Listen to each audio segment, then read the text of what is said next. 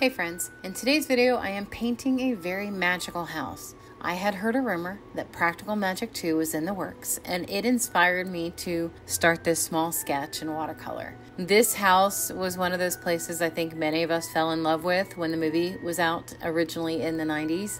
The kitchen, the garden, the greenhouse, everything about it was fantastic.